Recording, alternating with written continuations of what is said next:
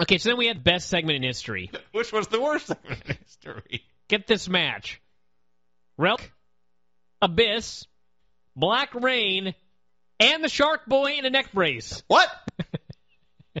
it was like they had three guys. They said, no, we need a fourth. Who is closest to where I am standing right this second? You and the fish head. Come here. So, Yes. Shark Boy in the. Okay. The match begins.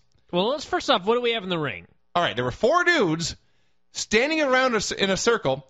In the center of the circle, in the center of the ring, was a Christmas tree composed entirely of barbed wire and some chains in there and stuff. And uh, the Christmas tree, it wasn't just standing like any tree stand. It was suspended from the ceiling. Yes. It was hanging from a rope, just just barely touching the mat. And surrounded this barbed wire Christmas tree were packages, gifts. Sure. It was the holiday season after all. Now, Bryan skipped to the entrance, so it was not until like the very end I, I knew what this was. I thought this was just a barbed wire Christmas tree match. No. No, There no. were gifts are to open. There were gifts that are open, and between the barbed wire Christmas tree and the gifts, this was the Silent Night Bloody Night match. yes. Now, the highlight of this match, there were a couple of highlights, both involving the tree, actually. Actually, but even bef- but even before you get there, I don't know. The first one doesn't fall. Go do the first one With the tree. with Shark Boy. Which one are you talking about? The they being the heels, which was as we we must explain, oh, Relic and Black Rain. They took poor Shark Boy, the X Division guy, the comedy geek, the dude in the neck brace. They took him to the corner, and they double teed him. These two giant men, and they whipped him into the barbed wire Christmas tree. he fell down. This was such a violent, cruel, vicious attack that Shark Boy took a bump, and the Christmas tree went flying through the air. Swinging back and forth. He bounced. He bounced off the barbed wire Christmas tree. Yes. Now, Bryan, there's two of us in this room. One of us has actually had a barbed wire incident in his life. Didn't you once ride a? Or, I did, actually. You, you rode a, as a young boy. You once rode a barbed. Uh, rode I'll a tell this story. Tell the story I was on a hill. On a bike. On a, well, no, I was just on the hill. And my friend had a 10 speed. And he was like, You want to try riding my 10 speed? I was like, Sure. I had like a Huffy, one of those little bikes, you know what I mean? Absolutely. Little dirt bike. So I had never been on a 10 speed before, or a fancy ass bike like this. So I thought that when you get on a 10 speed and you start riding, you put on the brakes the same way you put the brakes on on a Huffy. You push Uh, You pedal backwards, on the pedal. Sure. That stops it. Oh no. oh, you were to learn. Oh no, I was incorrect. The brake on a 10 speed is on the handle. I did not know that. I gained speed as I went down this hill, as we learned in physics class. E equals mc squared. I sped up and sped up and sped up. And at the bottom of the hill was a barbed wire fence. There was nothing I could do to stop. I was pedaling frantically in reverse to no avail. I thought that my friend had just chipped the chain off and attempted to kill me. And I fucking ran into the barbed wire fence with great fury. And I'll never forget that, actually. Now, did you bounce? Oh, no. Did the barbed wire go flying? No. Did it puncture you? I thought that I may have been cut in about six pieces, actually, and put back together in a hospital. We, we can laugh about this because you survived. I did survive. it sounds like it sucked. it did suck. Shark Boy was okay though. he was. Shark Boy bounced off the tree. This was where I started to giggle. Then it got better with Relic. it got better. Yes, I, I didn't giggle by the way. The, the match opened. Abyss and Black Rain started to brawl around ringside. Shark Boy and Relic stared at each other for a while and then began to slowly unwrap presents, like a child on Christmas morn trying to build anticipation. So that didn't make me giggle. But when Shark Boy bounced off the barbed wire Christmas tree, that was comedy. Okay, so the match continued. They were uh, trying to pin Shark Boy after he bounced off the Are tree. we getting to the Relic part where he gets thrown into the tree? no, that's that's that is coming up here soon. Relic got whipped towards a tree, and he just stopped running.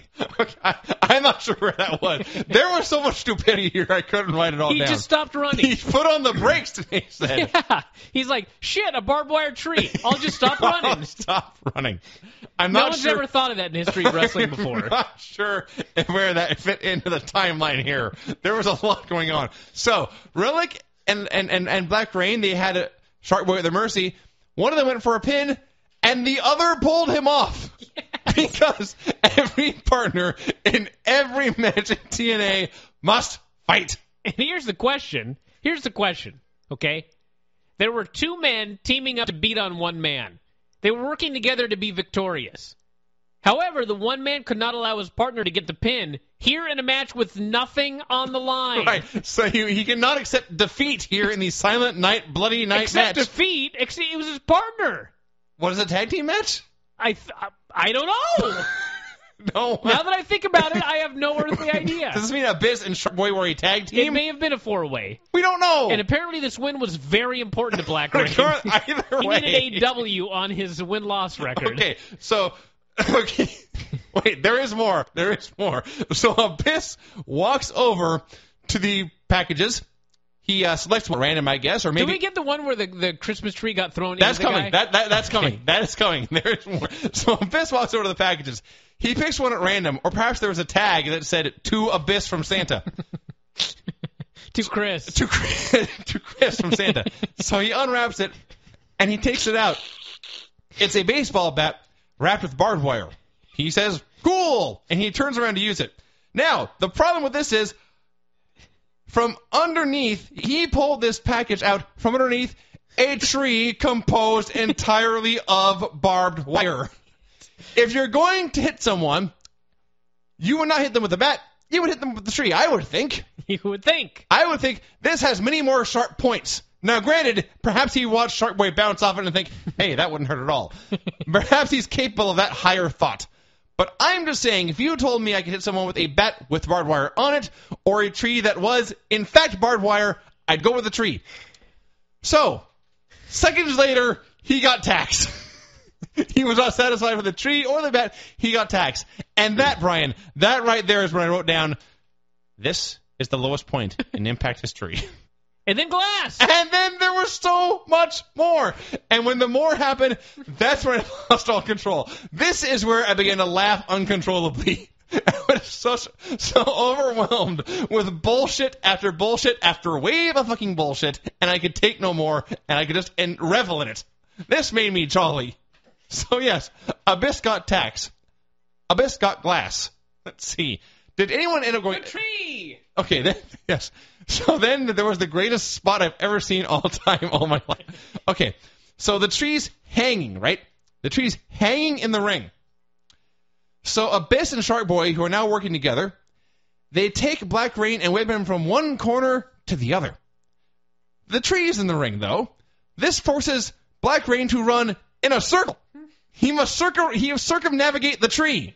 He must run in a loop over to the other corner. They then take they take they take Relic. They whip him in, and uh, apparently he was just following his buddy Black Rain's footsteps because he also went around the tree. Then he went into the corner. All right, so now let me let me reset the stage because I'm sure you're all having trouble visualizing this. So Black Rain is in the corner. Relic is in front of him, also in the corner. The tree is hanging Tree. hanging in the center of the ring. And Abyss and Shark Boy are, are, are on the other side. They then grab the tree, which is hanging. That's important. They pull it back to the opposite corner as far as it will go. So now it's hanging off the mat and it's got some tension in it. Like a, you know, like a pendulum. They then release it and it slowly swoops forward. it arcs down A lot, there's a lot of air in this Christmas tree. There's a lot of air. It, it kind of lightly bumps off the mat. It keeps swinging.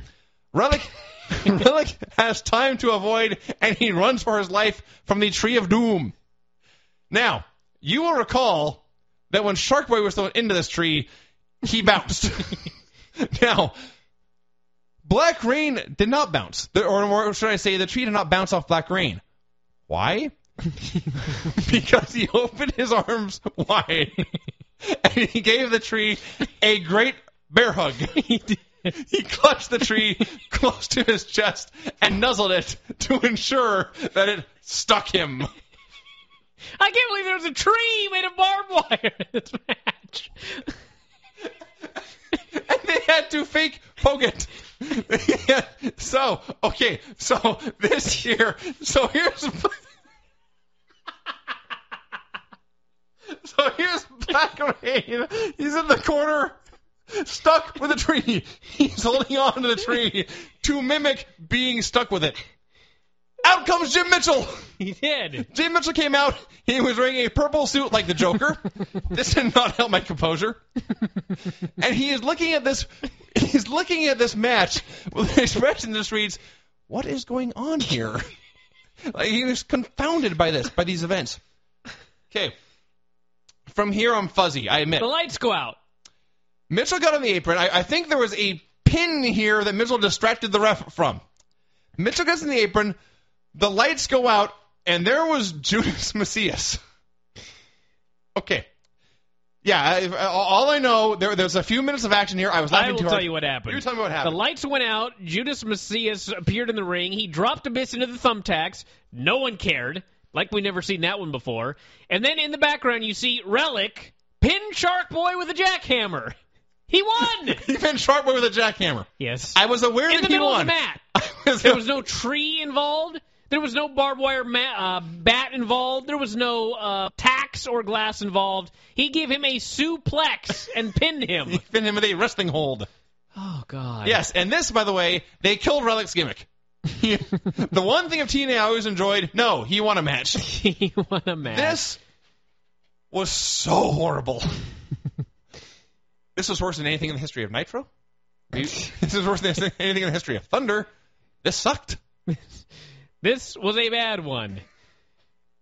Oh God. Again, maybe it's just that as a Canadian who has always had health insurance, this doesn't seem Max smart enough to This, be a big this deal. is going to go to the best of right here, Lance. yeah, You- You are being corralled away by uh, by this dog. by a dog trying to eat my wife's uh, boots. Oh man, Oh, they said they must be tasty. Yeah, if my wife gets home and her good leather boots are chewed up, I'm dead. You'll be chewed up next. Yeah, I'll be living outside with the dog.